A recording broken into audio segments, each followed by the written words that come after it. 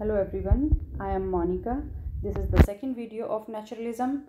In the first video, I explained that naturalism is a literary genre that started as a movement in the late 19th century in literature, film, theatre, and art. Extreme realism is naturalism, and family, social condition, and environment play an important role in shaping human character. Naturalist writers use scientific techniques to portray the reality. Emile Zola defines naturalism as a literary movement which emphasizes observation and the scientific, scientific method in the fictional portrayal of reality and Frank Norris, an American journalist and novelist, placed realism and romanticism were opposing forces and naturalism was a mixture of the two. Naturalist writers believe Darwin's theory of evol- uh, evolution that life is a struggle and only the fittest survive. In this video, we will discuss naturalistic works in literature. The work of French novelist and playwright Emile Zola is pinpointed as the genesis of the naturalist movement proper. His most famous contribution to naturalism was Les Rogan, Macquart, a sweeping collection of 20 novels that follows two families over the course of five generations. One of the families is privileged and other impoverished, but they each stumble into decay and failure. The action takes place during the rule of Napoleon III, a time of great uncertainty for the French people. The atmosphere in Paris, as well as in the novels, are one of the dread and uncertainty. Zola crafts over 300 characters for his epic, but his concern is not with characters as such, but how characters react to circumstances. This is the main concern. तो Emile Zola जो एक French French novelist और play right थे उनको genesis माना जाता है naturalist movement का उनका वर्क लेस रोगन मैकवर्ड ये शुरुआती नेचुरलिस्टिक वर्क्स में से एक है। इसमें टोटल ट्वेंटी नॉवेल्स की एक सीरीज़ है कलेक्शन है ये ट्वेंटी नॉवेल्स का, जहाँ पर दो परिवारों की कहानी दिखाई गई है और दो परिवारों की पाँच जनरेशन्स की कहानी दिखाई गई है। जैसे सबसे पहले दादा दादी फिर उनके बच्चे, फिर उनके बच्चे, फिर उनके बच्चे। तो ये पाँच जनरेशन्स की कहानी दिखाई गई है। दो परिवारों की कहानी दिखाई गई है, क्योंकि पाँच जनरेशन्स हैं और दो फैमिलीज़ हैं तो नेचुरल सी बात है करेक्टर्स भी ज़्यादा होंगे, लेकिन इतने ज़्यादा। थ्री हंड्रेड करेक्टर्स टोटल उन्होंने अपने इन ट्वेंटी नॉवेल्स में दिखाए हैं। लेकिन एमिल जोला का मेन पर्पज़ यहाँ ज़्यादा करेक्टर दिखाना नहीं था, बल्कि ये दिखाना था कि how characters react to circumstances कि किस किसी विशेष परिस्थिति के अंदर एक करेक्टर किस तरह से रिएक्ट करता है। अब रिएक्शन सबके अलग अलग होते हैं। तो अलग अलग चरित्रों के माध्यम से एम एल जोला ने उन रिएक्शंस को दिखाया है। This is the chart of two families of five generations and this is the family tree and here you can see so many characters so this work was the genesis of naturalist movement. Second is one of the first truly naturalistic works of literature, and certainly the first in America, was Stephen Crane's Maggie, a girl of the streets. Crane spent a great deal of time in the Bowery of Lower Manhattan gathering material for his first novel. Like a research scientist accumulating data, Crane wanted to learn as much as he could about life for the impoverished, mostly immigrant residents. Maggie was unusual for the time in that it perfectly reproduced the ostensibly vulgar dialect of the person's portrait. An earlier novel treating the same subject may have romanticized the immigrant's life, but Crane portrayed abject poverty exactly it was. His total contribution to the body of literature were relatively small as he died before his 30th birthday.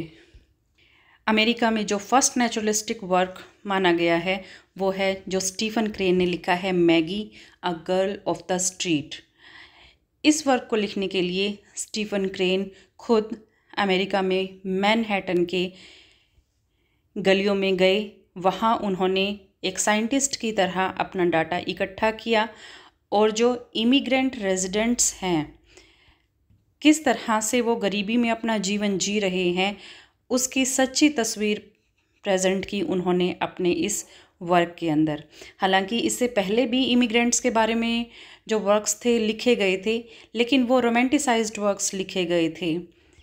लेकिन Stephen Crane ने reality दिखाई, dark reality दिखाई immigrant residents की।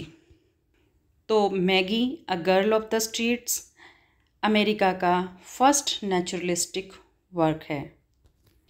Crane wrote one more novel and Crane's most celebrated and of misunderstood novel is the red badge of courage The novel was set during the Civil War and follows one young soldier's experience of that war. What is truly remarkable is that Crane wrote Red Badge with no actual experience of battle. His descriptions and scenery were inspired by war and history magazines, which he found dry and too matter of fact. तो Stephen Crane का एक next work था the red badge of courage जिसमें एक young जो soldier है उसके युद्ध के दौरान के अनुभवों को उन्होंने लिखा था हालाँकि स्टीफन क्रेन खुद कभी भी युद्ध के मैदान में नहीं गए थे, लेकिन जो हिस्ट्री की जो मैगज़ीन्स हैं और जो दूसरों से सुना उन्होंने, उनसे वो इंस्पायर हुए और उन्होंने ये the red badge of courage अपना एक वर्क लिखा, जिसमें उन्होंने युद्ध की परिस्थितियों को दिखाया और जो एक यंग सोल्जर है उसके अनुभव दिखाए युद्ध के दौरान, बहुत ही प्रभावशाली तरीके से। So this is also a naturalistic work. Next is Edith Wharton. Edith Wharton's novels dealt or concerned of the upper crust of society. Though she herself descended from enormous wealth, uh, she was able to step outside her own experience and take an objective view of privilege and class. Her agenda was to show the forgiving nature of life at the top of the class structure.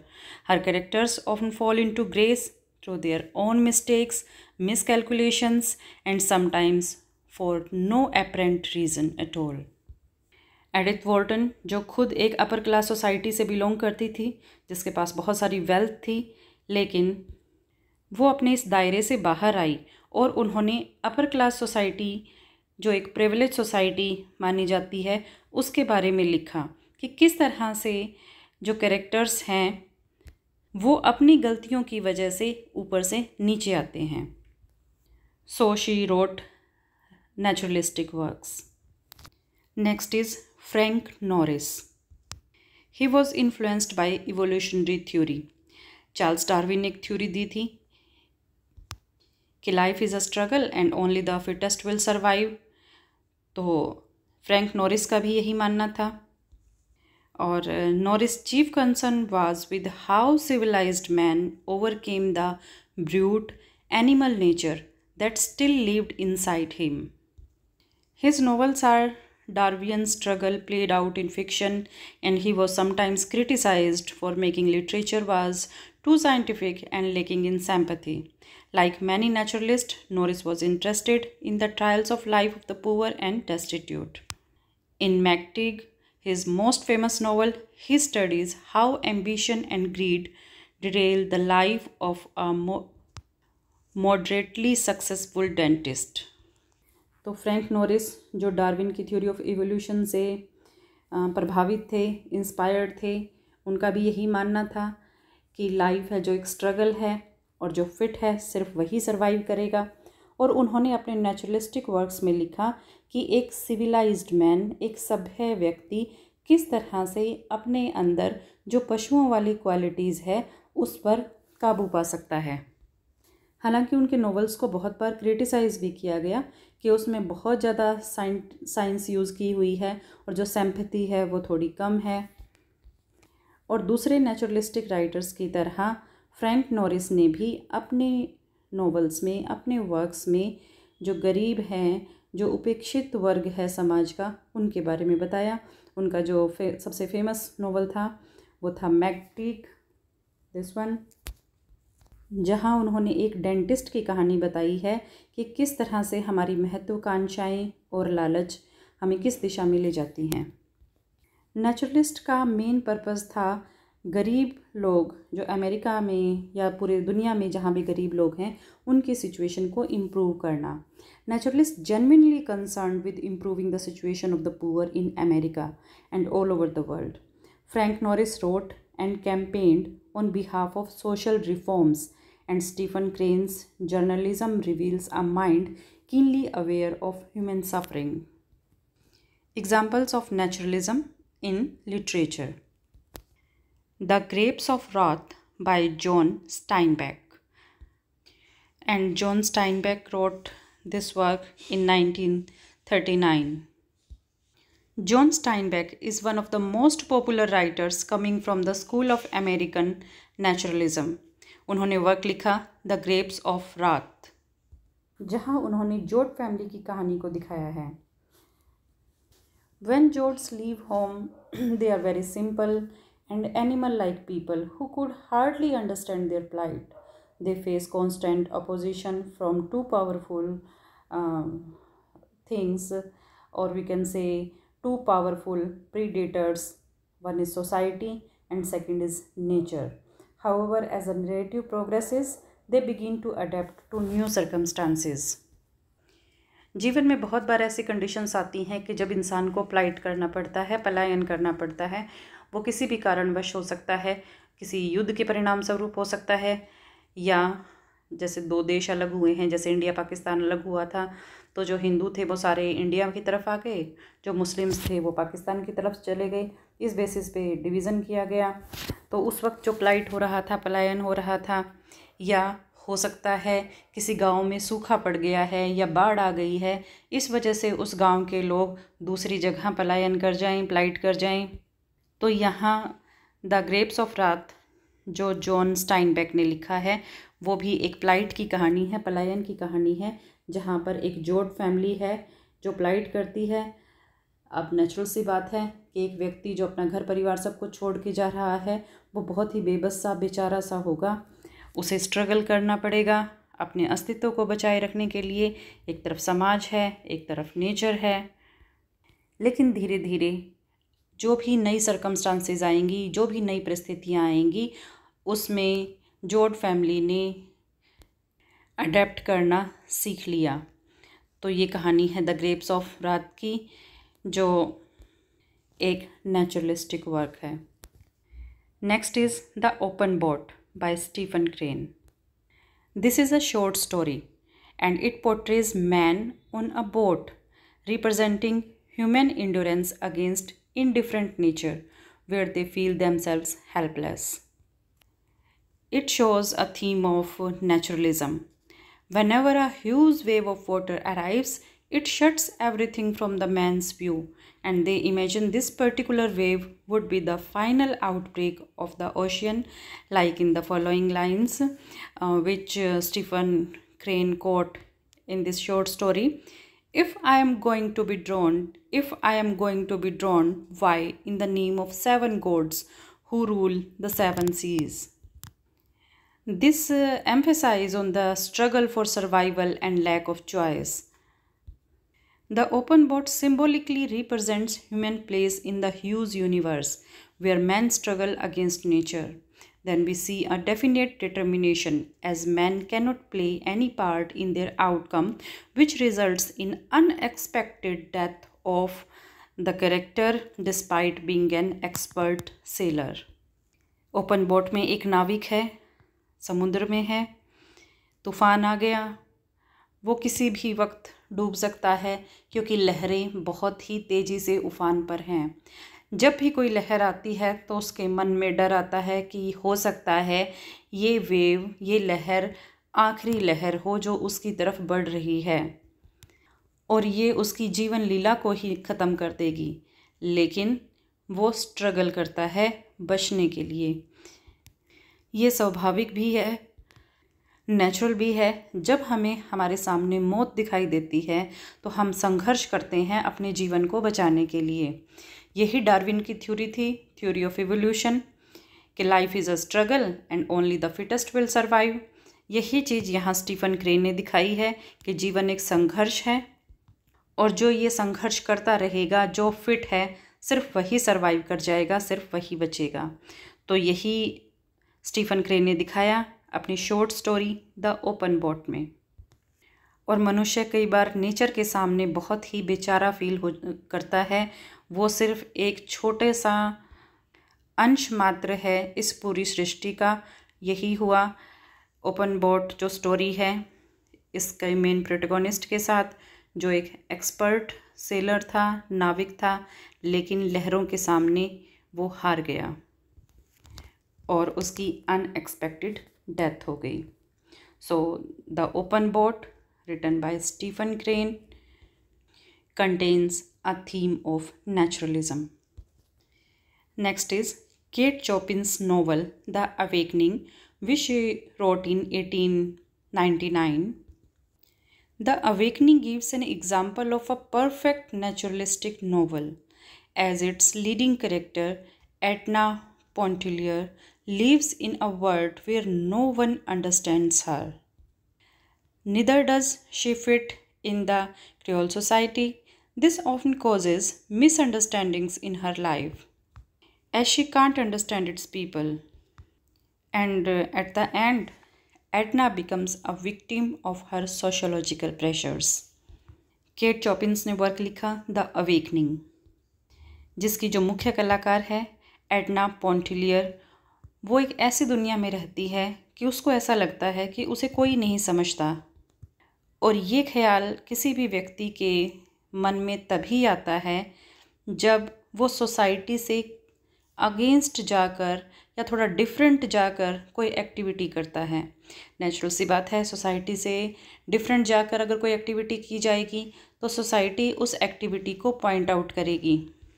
और उस condition के अंदर वो character ये सोचता है कि कोई भी मेरी बात को नहीं समझ रहा है, कोई भी मुझे नहीं समझ रहा है। ये एक नेचुरल थिंग है।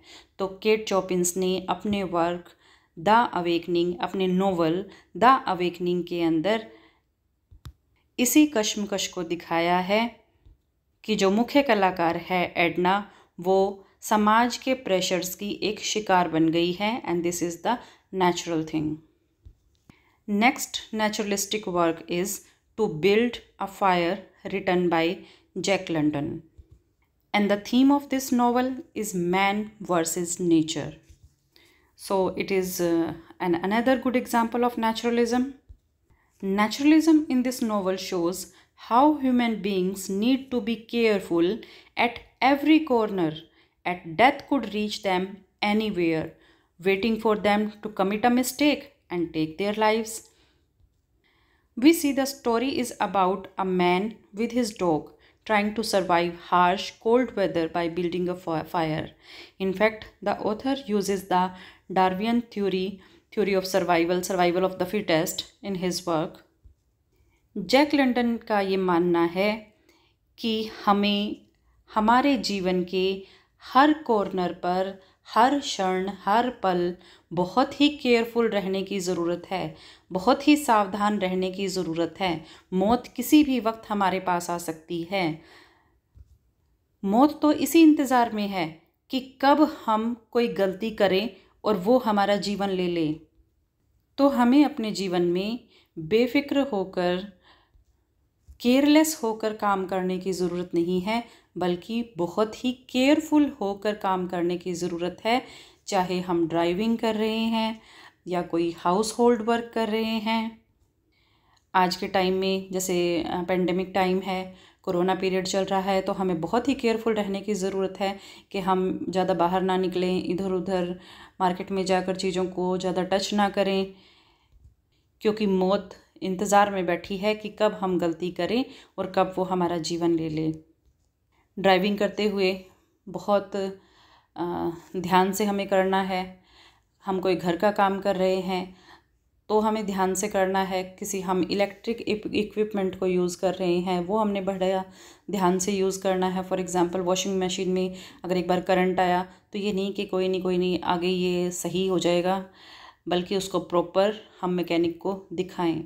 इस तरह से जो भी दूसरे हाउस होल्ड वर्क हैं या कोई भी काम है, वो करते हुए हमें बहुत ही केयरफुल रहने की ज़रूरत है, क्योंकि death is waiting to commit a mistake by the people and take the life of people यहाँ पर इस नोवेल में जैक लंडन ने थीम दिखाया है जो, कहानी दिखाई है जो एक पर्सन है और उसके साथ एक कुत्ता है और जो वेदर है, मौसम है, वो बहुत ही हार्श हो गया है, बहुत ही कोल्ड हो गया है। ठंडा बहुत ही ज़्यादा मौसम है, वो लोग बाहर हैं। अपने आप को सरवाइव करने की वो कोशिश कर रहे हैं against the cold and harsh weather और सरवाइव कौन कर पाएगा? जो फिट होगा। तो अगर फिट हैं तो वो पर्सन सरवाइव कर लेगा। तो यहाँ भी डार्विन की थ्योरी यूज़ हो रही है। तो to build a fire written by Jack London is an another naturalistic work अब आपने एक बात ऑब्ज़र्व की होगी कि जितने भी वर्क आए, जितने भी राइटर्स आए, वहाँ पर हँसी खुशी की ऑप्टिमिज़म की बातें कम की गई, बल्कि पैसिमिज़म की बातें ज़्यादा की गई हैं डार्क साइड दिखाई गई है लाइफ की।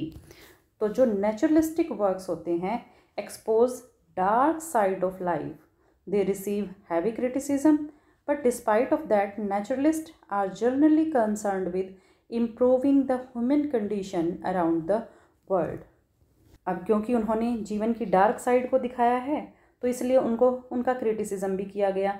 ये बहुत सी बढ़िया बात हम नहीं कह सकते, क्योंकि यहाँ पर सारी ग्लूमी चीज़ों को दिखाया गया है। खैर, कुछ भी कहानी हो, जो नेचुरलिस्टिक राइटर्स हैं, उनका मेन पर्पज़ है हमारे चारों तरफ़ संसार में ह्यूमन कंडीशन को इम्प्रूव करना। क्योंकि अगर देखा जाए तो यहाँ यही बात कही गई है कि हमें फिट रहने की ज़रूरत है। अगर हम सर्वाइव करना चाहते हैं तो the main purpose of naturalist improving the human condition around the world so these are the famous naturalistic works in literature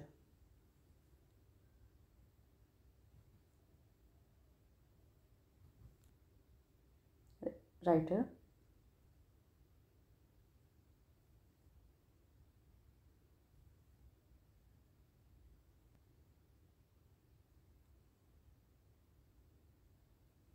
I hope this video enhanced your knowledge about naturalistic literary works.